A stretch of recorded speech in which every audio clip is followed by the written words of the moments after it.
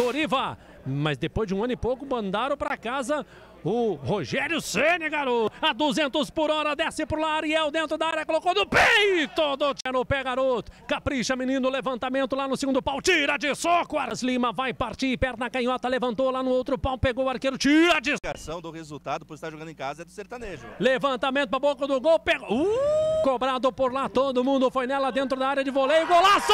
Gol! WhatsApp 988 14 5198. Levantamento pra boca do gol. Torneio de cabeça direto. Para o Paulo, o Paulinho, né? Levantamento para bola para boca do gol. Tira do Pinhal no meio do campo, escapou na velocidade. Tem o Caetano, vai espetar dali, fez a finta, cavou a falta. Levantamento no escanteio, o sol pega valendo. Levantamento, torneio de cabeça. Lá do canhoto, campo de ataque, todo mundo na área. A sombra agora a equipe do arqueiro Torquinho. Cá entre dois, dominou, volta para o Guga, espetou de perna direita, encaixou o arqueiro. Montou e deu boa. Isso aí, Pi. Gerando empregos, o Pi, cara. Olha só, pegou uma arrastado um pouquinho, Borja.